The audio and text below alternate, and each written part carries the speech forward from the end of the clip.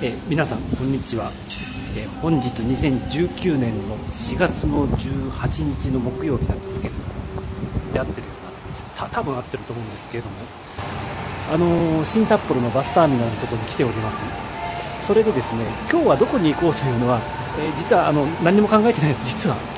でえーっととりあえずなんかこういろいろブラブラ見てみて面白そうな行き先があったらそこに乗ってみて、え面白そうなところで降りてそれで普通に帰ってこようかなというそういうう企画をやってみようかなと思います、えーどこに行くか私もさっぱり分かりません。もしかしたら確かですね新札幌一番遠いところで夕張行きがあったような気がするんですよ。だから新夕張だから行くのあったんですけれどもそれ乗っちゃうかもわかんないですけれどもまあどうなることやらえ本日もよろしくお願いいたします。でですね、えっと、新札幌のバスターミナルって今我々がこう立っている、えーこちらがなんだっけ南レーンか。南レーンとお向かいにある北レーンと分かれてるんですよね。あここにちょうどいいのがあった。バスターミナル案内ということで。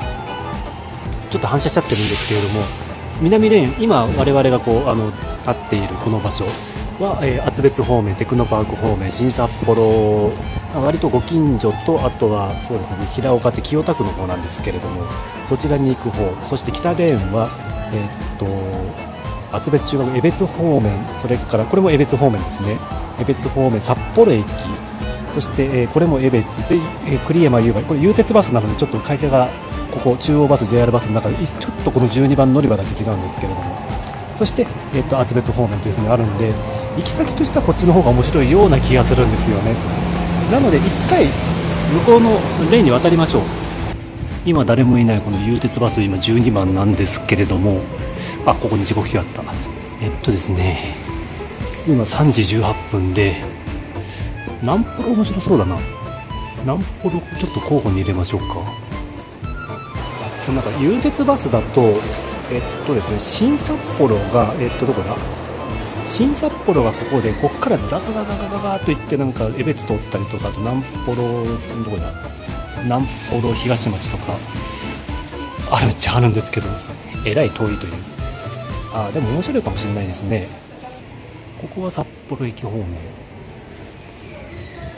これはなんか前なんか一日乗車券800円でやったことがあるような気がします。あそのままあの宮の沢行って小樽行ってみたいなそんな感じで。でこっちが江別方面で前も江別方面。ここは、えー、と開拓の村大浅のっぽろ新札幌にあ循環線があるんですよ。そうそう。なんか文京台エリアあの大浅駅の南口からぐるっと回って帰ってくるっていうのがあるんですよ。でこっちも、えー、と新札幌駅とかのっぽろ江別江別市林そうですね。南ポロ行きますか。決めました。じゃあ今日は有鉄バスで南ポロに行きましょう。これ乗っていきます南ポロ行き有鉄バス。行き先をご確認の上ご乗車ください。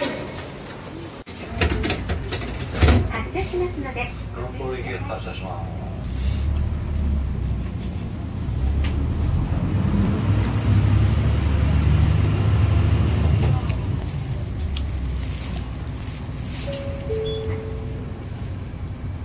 もご利用いただきましてありがとうございます。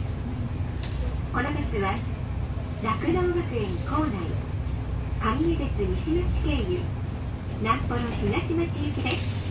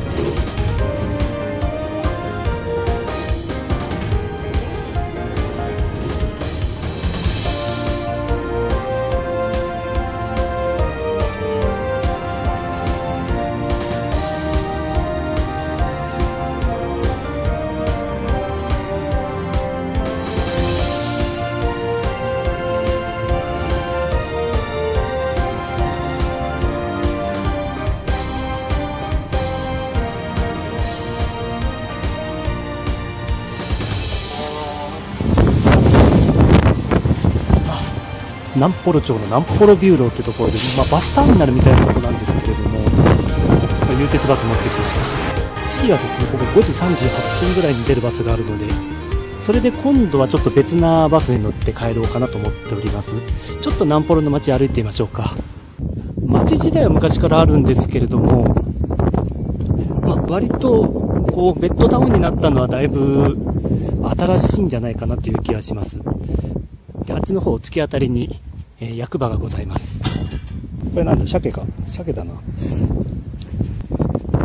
あ、ちょうどこれ今南ポロビューローから役場まで通ってる道でなんとか通りって名前ついてるのかな？街のメイン通りってわけじゃないですけれどもまあ大体その街っぽいところがあんまり大きくはないんですけれども、まあ街っぽいところみたいな。だってもうすぐそこ農業倉庫ありますしね、これ。あの北海道あるあるの農業倉庫なんかも走ってますけれども、走ってるありますけれども。こはなんだ？プラザホテル2号半を、えー、ホテル？やっぱ街に一つぐらいホテルってありますね。えー、南幌町に道の駅を街づくりを考える有志の会ということで。そう、ちなみにですね、あそこの、南幌ビューおそらくなんですけれども、地図みたいな感じ。昔はその、夕張鉄道の南幌駅みたいなところだったんじゃないかなって気はするんです。あの、不確かです。あの、本当かどうかわかんないですけども。でもちょうどこう、街がこう、縦と横になってるんですけれども、縦と横になって、選挙だよ、静かにしてよって感じですけどね。でもまあ、縦と横の道がある中で、こう、斜めに走ってる道があるんですよね、ここ1本。これのずっと地図見てみるとあののっぽろ駅からずっとこう来てるようなあの道なんですけれどもあれ絶対なんか夕張鉄道の線路だったんだろうなっていう気はしますでねあそこにもあの南幌向停車場線なんていうふうに書いてあって前どっか夕張行った時にちょっとあれ入れたかな吹き込みしたかもしれないですけれどもあのここ、道道430号線南幌向停車場線といいまして、昔ここに停車場がどっかにあったのは間違いないと思います。で、斜めの道があって、それが夕張鉄道というのも、うん、多分だけれども、まあ間違いないんじゃないかなと思いますよ。このアパートもなんかすごく昔ながらでいいですよね。役場前にあるこのアパート。いいな、なんかあの、ちょっと隙間風とか強そうですけれども。なんかこうして見ると結構南幌町役場立派ですね。人口がどのぐらいいるか私もちょっとわからないですけれども。でもなかなか立派な建物。まあ、ちょっと年季は入ってるかなと思いますけどね。えー、先人開拓の像ということで、明治24、5年ぐらいに、えー、まあ、幌向って南側にあったんで、南幌が南幌というふうに、あの、鉛になったんですけどね。特にこれ誰かっていうわけじゃなさそうですけどね。あの、ここに入って開拓した人の像みたいな感じでございますか。これですね、長谷川の、長谷川なんとかさん。長谷川源之丞さんというふうに書いてますけれども、何をされた方でしょう大体初代町長とか、そんなんだったりすることが多いんですけど、あ、やっぱ書いてある。平成29年9月、あの、今平成31、まあそろそろ令和元年ですけども、2年ぐらい前に建てられたものだそうですけども、えー、沖縄は、あ明治13年、えっと、1900、あと70年かな。あ、80年かね。1980年。福井県に生まれ、えっ、と、40年に北海道開拓の、U とかな図面の図の旧字体ですよね。を抱いてやってきましたみたいなこと書いてます。え、当時開拓のなんとかかんとかかんとかかんとかで、まあ、この辺本当川の氾濫がひどくて本当に2、30年ぐらい前まで結構あったんですよ。1981年とかにも洪水が起きたりとか。で、そういった、えっと、まあ、川の氾濫とかの治水工事などにもなんかすごく貢献した人らしいです。でもこの像はですね、そこに書いてあった1954年の8月に作りましたということで、本田、明るいに2人って書いて、明治さんとしておきましょうか。が作ったということで、なんか、だそうです。なんかこう粘土をこねて固めたみたいな、そんな感じがありますけれども。えー、これやっぱりこう、市町村役場とこういうのは興味深いですよね。じゃちょっとあっち歩いてみましょうか。あの、深い意味はないです、例によって。まあ、本当に今日は行き先適当に考えて適当にしただけなので、何にももう予備知識ないんですけどね、自衛官募集、18歳から32歳の方だそうですよ。私でもね、あの、ああいうなんか、規律の厳しいところ、規律の厳しいところって苦手なんですよ。あの、ゆっくり寝かしてくれて、まずそこからその時点でもアウトなんですよね。郵便局、ATM も6時までか。えー、っとですね、8時45分から6時平日、土曜日は9時から17時、えー、っと5時ですね。それから日曜日だと9時から、あ、でも2時まで ATM 空いてるんだ。便利ですね。ま街の中央ですからね、おそらく。そう、あの、街の名前だけでポンとついて郵便局ってついてると大体その街の本局みたいな、そんなところですよね。だから、まあ、江別市だったら江別郵便局とか、まあ、札幌はちょっとでかすぎるので、札幌中央郵便局ってあるんですけれども、お運河へ来て800メートル。ちょっと今日800メートル行って帰ってくると多分ちょっと時間的にアウトだからやめてきますけど、なんかありそうですね。で、350メートル物産館ビオラこっちの方に今行ってますからね。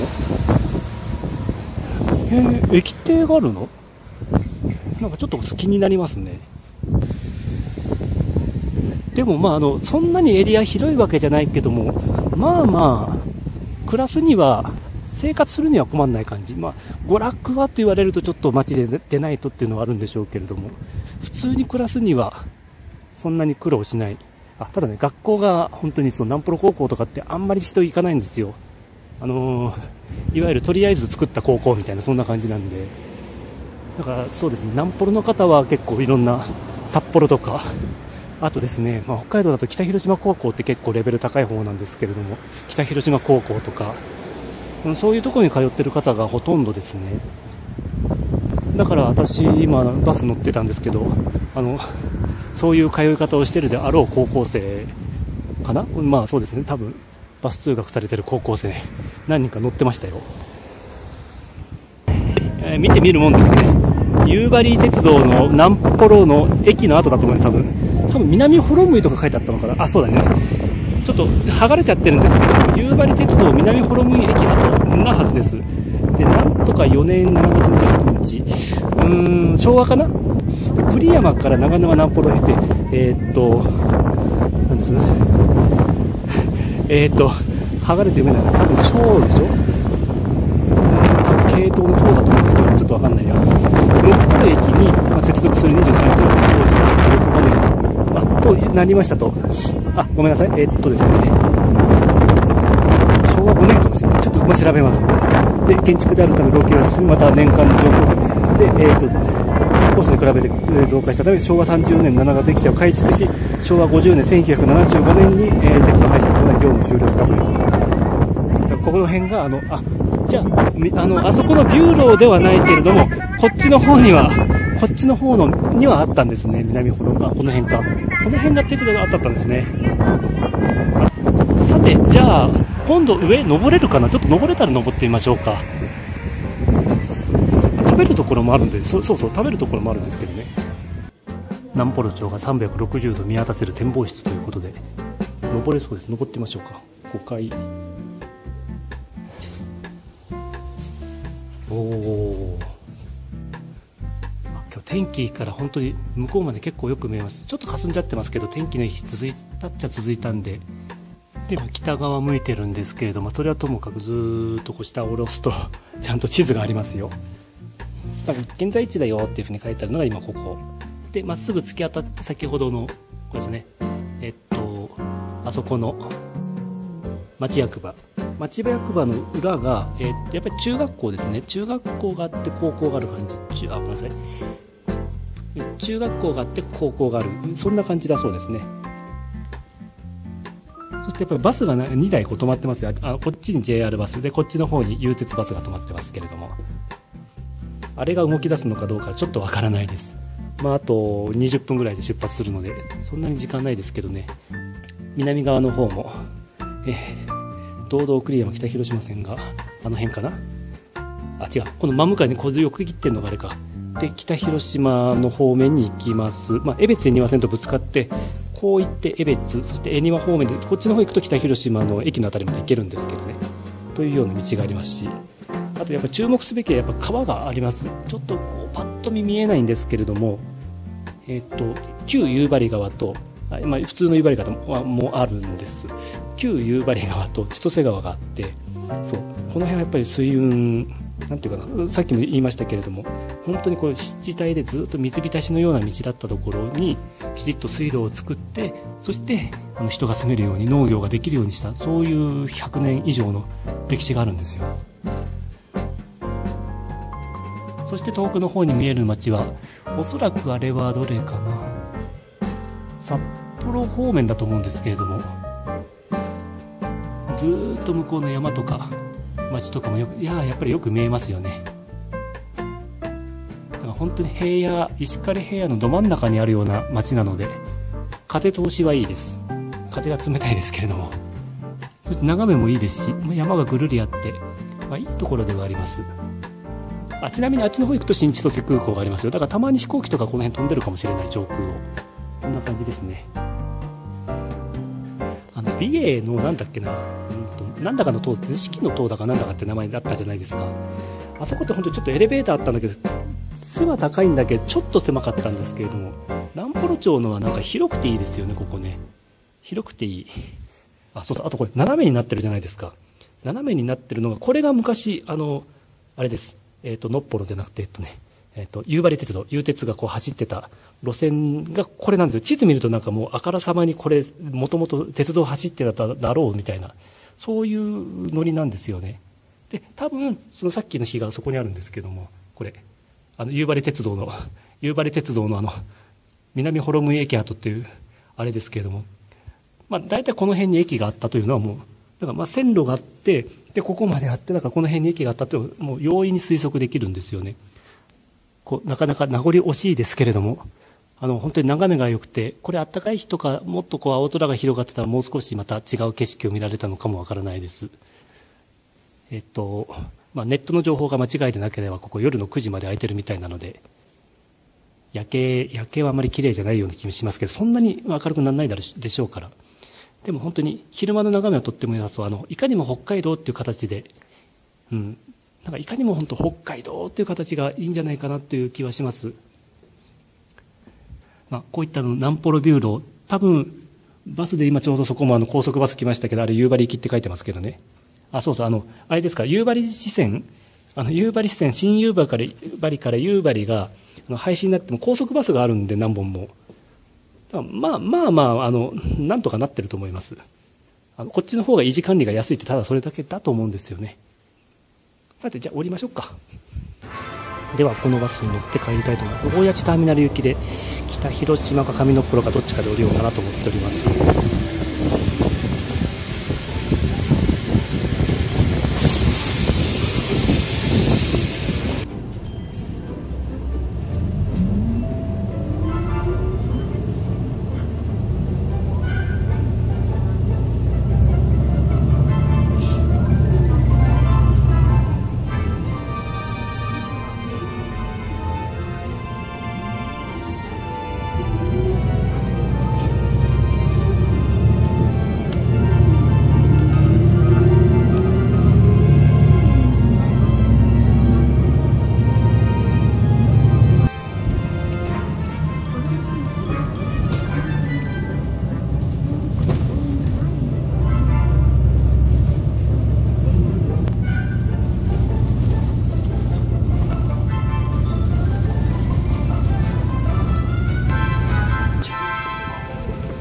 JR 北広島駅到着しました。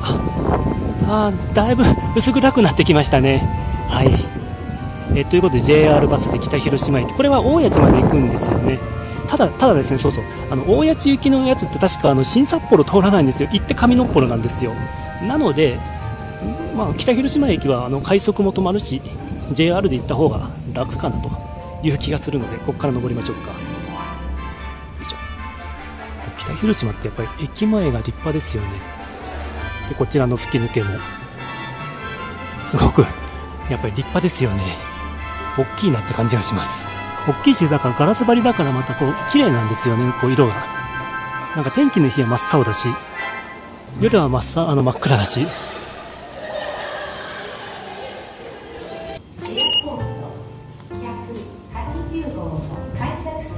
りあえず快速もあるんですけれども快速って大体混んでるんですよね。で混んでて大体北広島駅ってあの普通列車が快速通過するっていうか追い越すのを待つ駅なのでそっちだと割と空いてるんですよ実は実は。新札幌辺りから混むんですけどね。こんな感じでわさわさと乗ってくるのでもう反対側にあそれでもいるな。ちょっと時間遅くなりますけど普通列車で行きましょう。新札幌駅到着しました。いや本当もっとごそっと降りてったんですけれどもちょっと人混みが途切れるのを待ってまして。ということで、え新札幌のバスターミナルまで戻ってまいりましたという感じでございます。ということで、まあえーっとどこ行こうかって適当に乗って南幌まで行って南幌行って北広島経由で戻ってきたというただそれだけの話になってしまいましたけれども、これはこれでなかなか面白かったですね、あの路線が。うんまさかあの大学の中を通っていくようなそういう路線になるとは思いませんでして、あまあでままた南幌の街も、まあうんまあ、駅が昔あったかなっていうそれぐらいの話しかしてないのと、まあ、あと眺めが良かったかな。眺めが良かったかなとかそんな感じでございますけど、まあ、少しでもお楽しみいただければと思います。それじゃあですねえじゃあ今日はこの辺にしたいと思いますね。え今回もご視聴ありがとうございました。また別な動画でお会いいたしましょう。どうもありがとうございます。今回もご視聴いただきまして誠にありがとうございます。チャンネル登録高評価ぜひよろしくお願いいたします。また概要欄より太郎の雑学カフェこちらに飛ぶこともできますのでぜひご覧ください。それではまた次の動画でお会いいたしましょう。ご視聴ありがとうございました。